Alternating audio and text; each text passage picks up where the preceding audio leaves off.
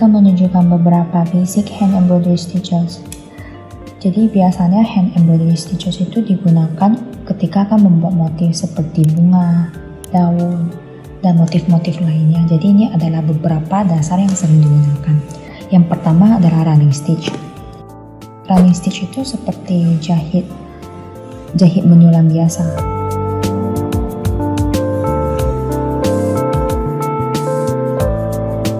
Jadi kita masuk keluar masuk dengan jarak yang sama.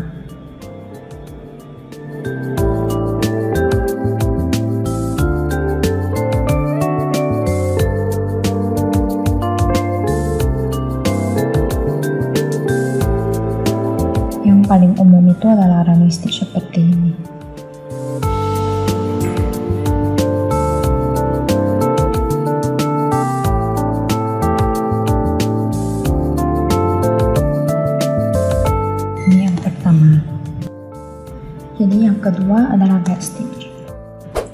Jadi backstitch itu mirip dengan running stitch, tetapi kita balik lagi ke yang awal. Ini tidak ada gapnya. Kita masuk seperti ini, kita keluar,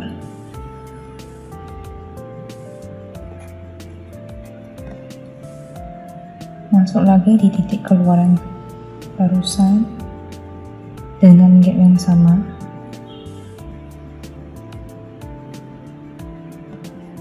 dan di terus prosesnya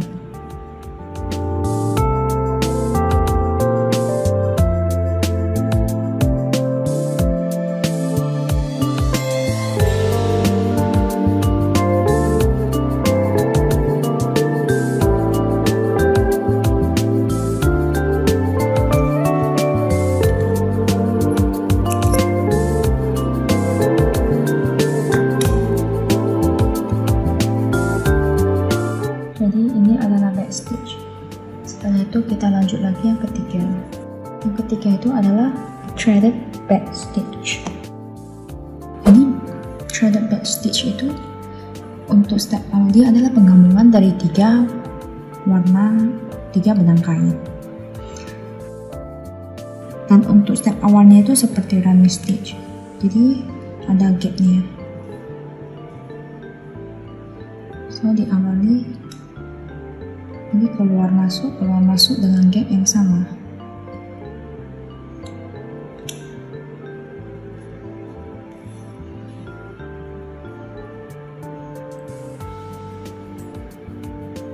Benang pertama saya memakai kalian bisa memakai warna lain atau warna yang sama. Tapi saya memakai warna yang lain supaya bisa kelihatan prosesnya itu step by stepnya itu seperti apa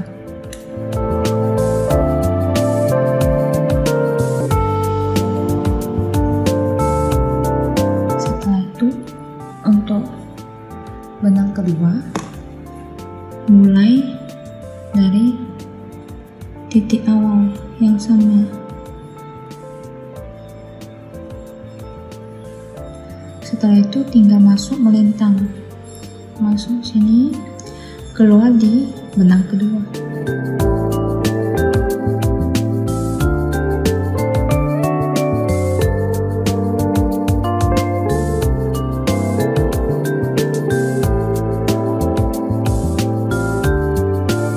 Untuk benang yang ketiga, saya memakai warna ini juga sama, dimulai dari titik yang titik awal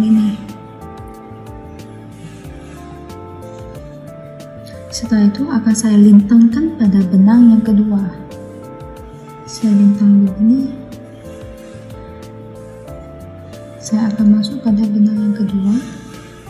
Yang warna kedua ini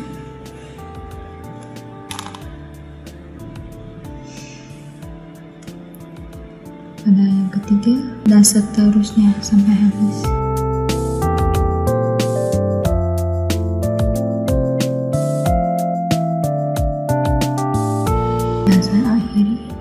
Titik yang sama.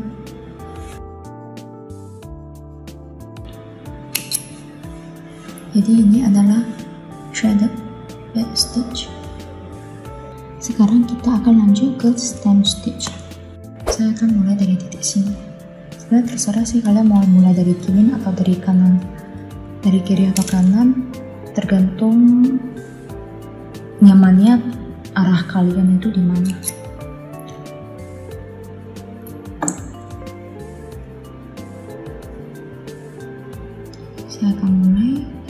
Sini. Ini caranya itu kita kasih gap yang lebih besar. Habis itu kita habis itu saya akan keluar dari di antara pertengahan titik pertengahan jarak itu. Setelah itu, saya akan memberikan gap yang sama dan keluar dari dari benang terakhir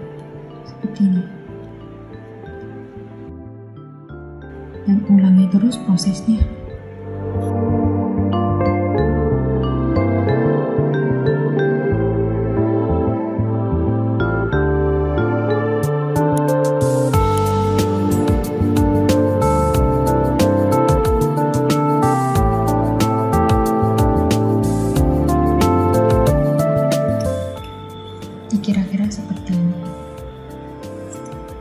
Jadi next stepnya itu adalah width stem stitch. Jadi stem stitch ini seperti stem stitch, tapi dia dikombinasikan dengan satu benang lagi. Jadi totalnya ada dua benang. Jadi untuk prosesnya itu kita mulai lagi seperti step yang awal tadi.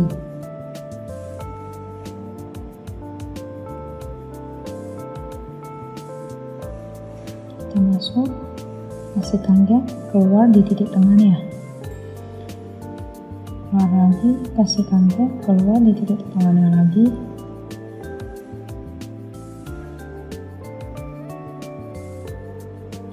dan proses ini diulang terus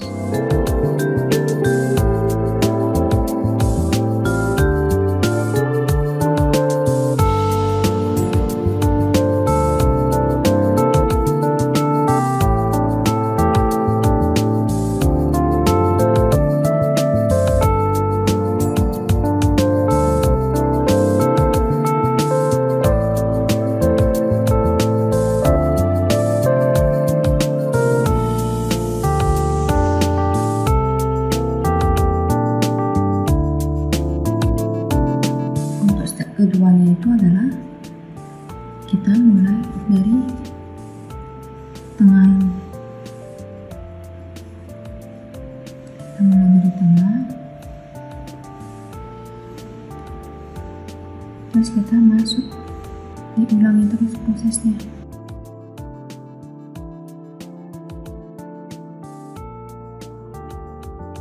nah yang diambil itu cuma benangnya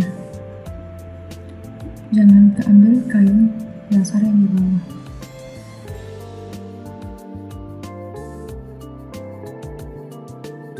Ini adalah loop stem stitch. Nextnya adalah split stitch. Jadi split stitch itu dia mirip dengan stem stitch. Jadi masukkan benang-benangnya dulu ya.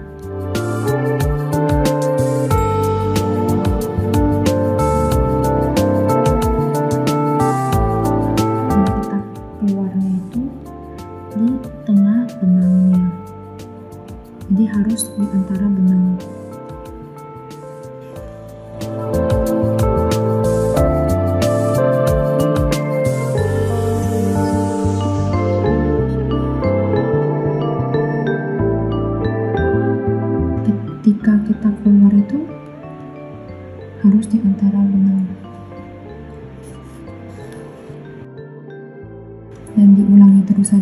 Saja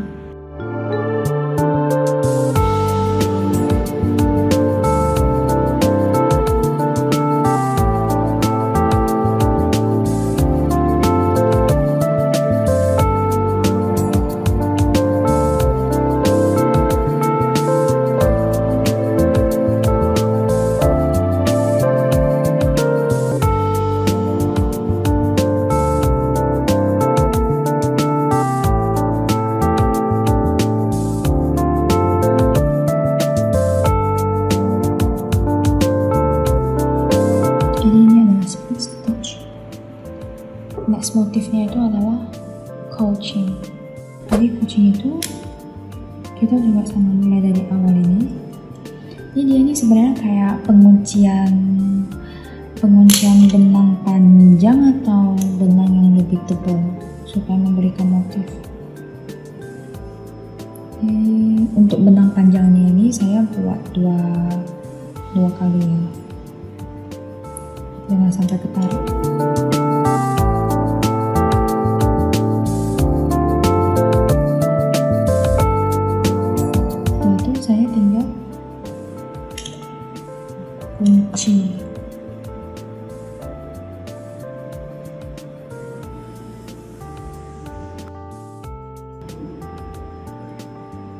dia akan seperti ini terkunci gitu.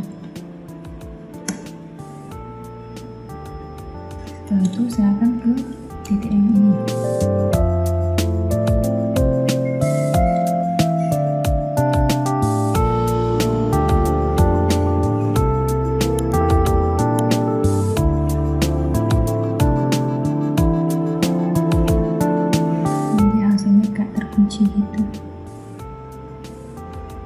dan diulangi terus saja prosesnya.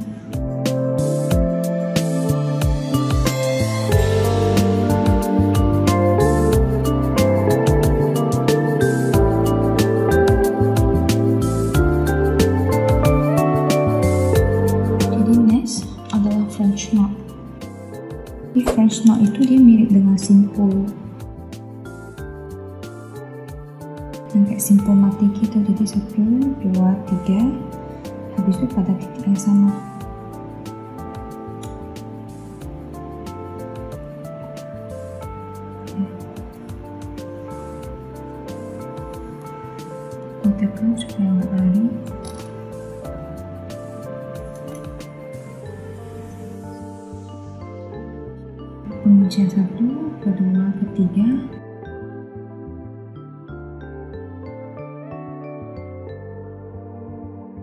terus ditekan supaya dia nggak lari. Terus ulangi lagi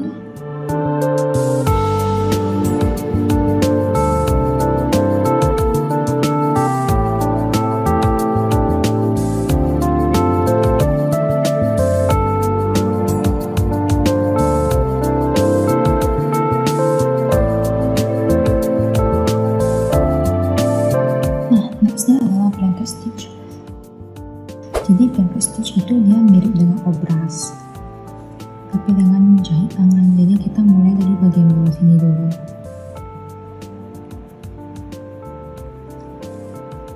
Terus kita keluar, terus kita masuk dari sini, keluar dari samping. Tapi titiknya ini harus sejajar kita keluar ini seperti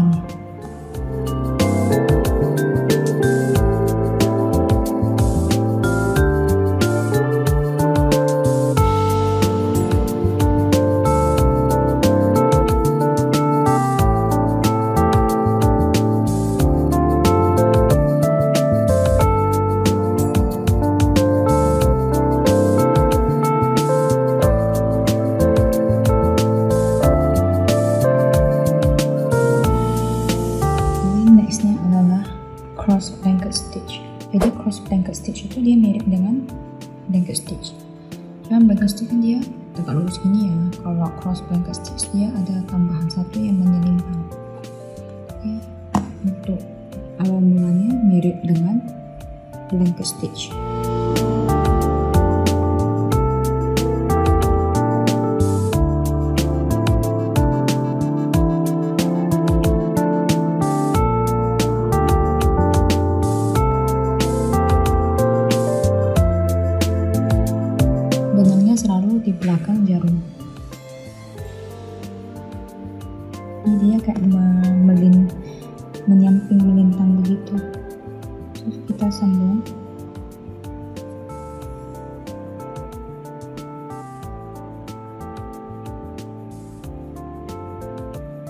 terus ketemunya di titik ini.